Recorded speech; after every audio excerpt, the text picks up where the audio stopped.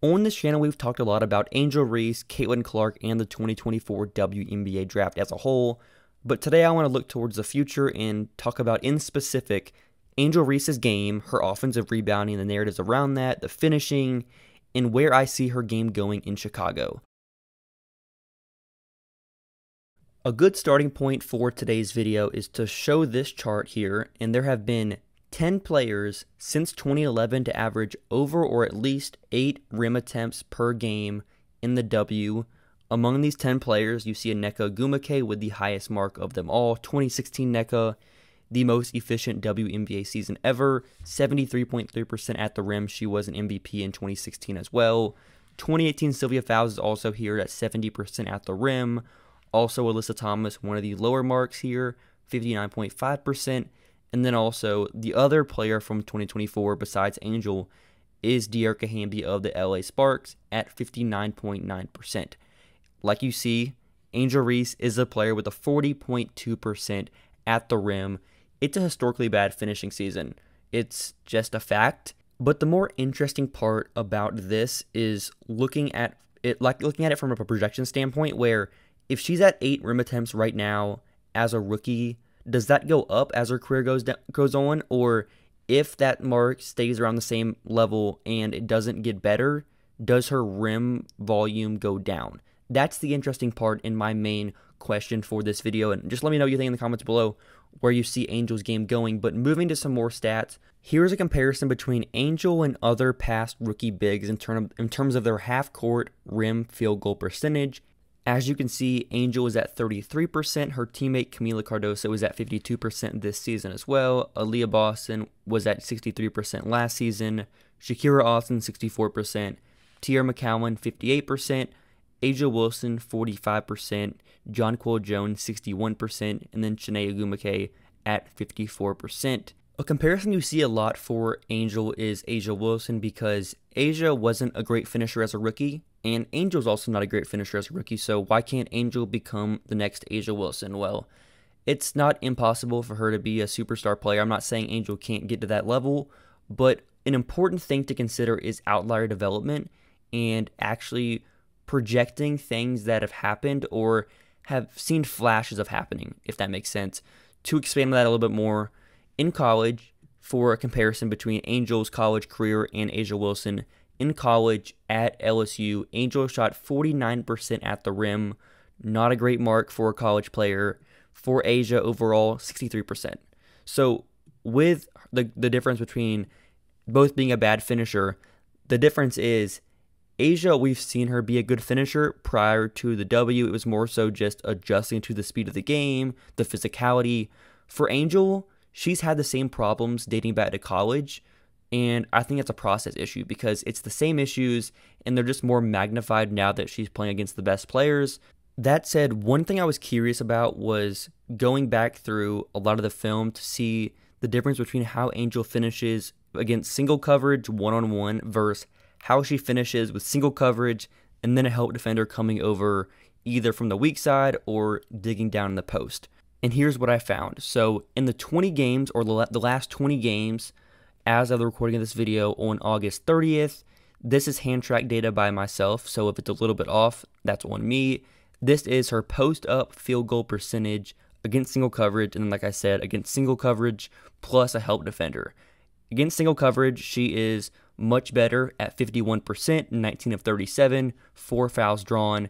Against single coverage plus a help defender, she is at 40%, 8 of 20, four shooting fouls drawn. One thing I didn't mention was this doesn't include offensive rebound, second chance opportunities, just because that would have been another thing we'll talk about in a second. But just with this, I would just say she really struggles to navigate traffic, and it's not even about physicality for me. I think it's her release point more than anything. She doesn't get off the ground very high. Her the ball is released super low, close to her body. Also, she doesn't have many counters, I would say either. So whenever a second defender comes over, it's very easy to stop her. She's very predictable in the post. She's easy to block. And with all those reasons, it's tough for me to project her being some elite finisher. And going back to that chart we showed earlier, you give high volume post touches, a ton of rim attempts, in the post to superstars and elite post scorers. Let's say Angel over the next couple seasons goes from a 40% finisher to let's say 45, 50%, even 52%. Even if she jumps 10%, that's still not even a mark where I think you give her 9 plus or honestly, I would if it was me, I would cut down her post rim attempts per game in the post by probably 50% if she's not at a league average level or slightly below league average. So for me, it's a very interesting way for me to look at this this Chicago rebuild in general because with Chicago having their two building blocks or two of their building blocks alongside Chennedy Carter, Angel Reese and Cardoso are both bigs. So what direction do they go in long term? Because right now you're not competing for a championship. It's okay to give Angel a bunch of post touches, give Cardoso a bunch of post touches. That's fine with me. But long term, let's say Cardoso solidifies herself as the face of this front court. I had a higher grade when Cardoso was a prospect by multiple tiers. I have it in writing as well. I just think that Cardoso was the better prospect compared to Angel Reese. And still now, I would take Cardoso over Reese long term. Not saying Reese isn't going to play a long WNBA career and be very valuable. But if I think Cardoso is a better passer, she's a better finisher, she is a better screener, in my opinion. It's probably a little bit closer there, a more valuable defender. With all of those things in in the cards, Reese needs to be able to complement Cardoso and be the secondary big and that's not me saying she has to be on the bench. She can't play with Cardoso, but it needs to be much more like Rebekkah Brunson or Dennis Rodman than it is her being A'ja Wilson, Lisa Leslie, or Nneka Ogwumike, if that makes sense. If I'm Chicago, I understand them giving Angel these reps. Just give her the opportunities. Let her try things. Let her experiment her game because I understand giving young player the freedom to make mistakes and work through those mistakes is what you want because that's the only way they're going to improve. I understand that. But long term, if that doesn't happen, can she scale her game down to fit that more smaller role? Can she just be an offensive rebound hub? Can defend, can work hard on that end? Can she be more of a driver of offense, like as a perimeter player? Not saying she's going to be some forward or a point forward, but like, can she create more on drives, which is something she did at LSU in spurts? All of those things I think would allow her to be more of a connector compared to being this superstar. And that's the versatility that she has long term, I think. It's just about can she scale her game down? Like with Rebekkah Brunson, for example, Brunson had a career 18.2% usage. We saw Brunson go from more of a higher usage player in in Sacramento to more of this glue forward, glue big with the Minnesota Lynx, won a ton of championships. She reduced her role and like you can see here, 1.8 post post ups per game in 2011, down to 1.3 in 2012, and that kept going down, lower in 2013, lower in 2014, and then lower in 2015. She played next to Sylvia Fowles, some other bigs that were also non-shooters. And what she did was she got a ton of offensive rebounds. She did not hold the ball long. She did not wasn't a ball stopper whatsoever. She made quick reads and she really worked on defense. She was the perfect role player, the perfect glue player for a championship team or a dynasty, really a dynasty in Minnesota. That's in the cards for Angel Reese. I think for her to contribute to winning at the highest level, I much more view her in this type of role. Not saying she's going to be Brunson, but like more in this glue forward because of her motor, her one of the best motors I've ever seen from a basketball player or any sport whatsoever.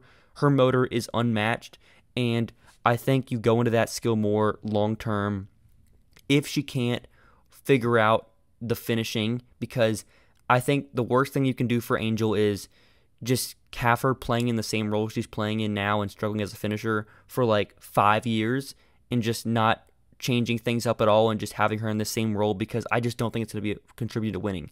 She can make winning plays, but I think overall just that role for her isn't the best long term. The other comp you see with Reese is Dennis Rodman. With Rodman, he started his career in Detroit, was much more of a high usage player in his first few seasons, was an all star, averaged like 15 plus points per game. There are similarities between the two in terms of being elite rebounders. The motor is unreal with those two players. Dennis's ability to adapt to his role is similar to Brunson as well with Rodman, his role got smaller in Sac in not Sacramento, but San Antonio, and then it got smaller again with the Bulls alongside MJ, Scottie, etc., etc. So my overarching takeaway is for people to temper their expectations. I love Angel Reese as a basketball player more than almost anybody else, just because just her motor. There's just a very fun aspect with how she views the game, with how hard she works, and that's just an admirable aspect of her game, just how hard she works in general on both ends of the floor and what she means for women's basketball in general. Like, I'm not saying what she means for women's basketball isn't immense because she is one of the biggest faces of the sport. And I just think there's a good chance that she's just not a superstar caliber player, at least in terms of like her own court abilities. That doesn't mean she can't contribute to winning. If you look at her skills, the good thing about her is she has the motor, she has the rebounding, she has the defense, the team defense to be an elite connector at the four position or at the five position on the bench. And that gives her such a high floor, but also the ceiling is still there if she figures out the finishing and just grows as an offensive player in general because there's just many avenues there. And I think you look at this with different players around the league, there's many players that are just on-ball players and they don't have many secondary skills. She has all of the ancillary skills. It's just about if she can't find the offensive game, the on-ball stuff, can she just reduce her game down and accept that role? I think she can. I would ex- I would expect that. So now you know what I think. Let me know what you think in the comments below. What do you think about Angel Reese's game long term?